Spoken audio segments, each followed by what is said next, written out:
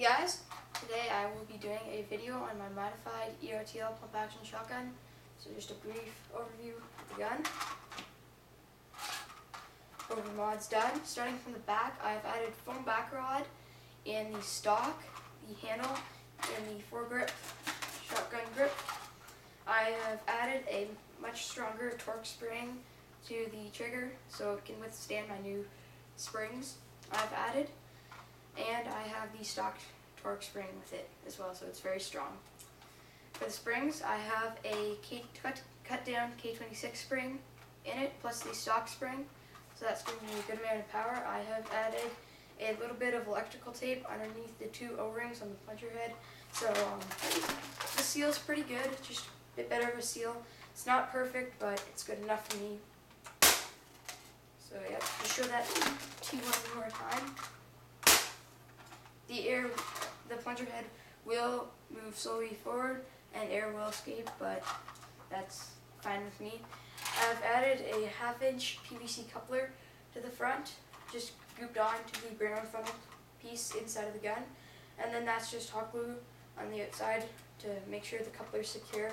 And I can twist on and off a hopper clip or an RCB or anything without having it to swivel around. I have not added a um, wire dart stop to the front here. So the gun will vacuum load if you have a dart in the barrel and you cock it when the um, barrel's in the coupler. Alright, that's basically it. Now I'll be doing a quick firing test at this Clearator box right here. And I will be firing off four Captain Slug style head Stefans. These are all 1.5 inches in length and they are weighted with um, like steel washers and then felt tips. And they are Forsaken Angel 24 foam. I'll be firing them in this PETG speed loader. This is 12 inches of thick walled PETG nested and grouped in Schedule 40 half inch PVC. And yep, that's for both of them. They are hot glued together and then that's just orange E-tape over top of it make it look nice. So just throw two darts in. I'm getting roughly 100 feet flat with this pump action shotgun and these darts. The speed loader, so that's pretty good. Cock it. Me your speed loader. And um, just put the loader box here. And I'll be shooting roughly maybe five to six feet away from the box. So here we go. First shot. Here's the second shot load the next shot in. Here's the second shot. Not sure why that one ricocheted off. Here's the third shot, just loading the fourth dart.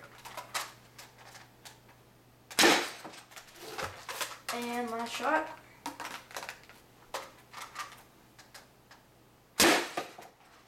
Okay, let's go check out damage done. So one dart, as I said, ricocheted off.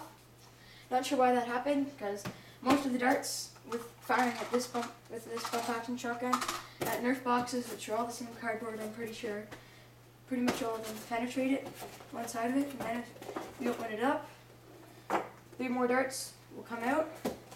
They penetrated one side. So it's pretty good. Um, it's my primary, and yeah, just one last overview of it. Alright, thanks for watching.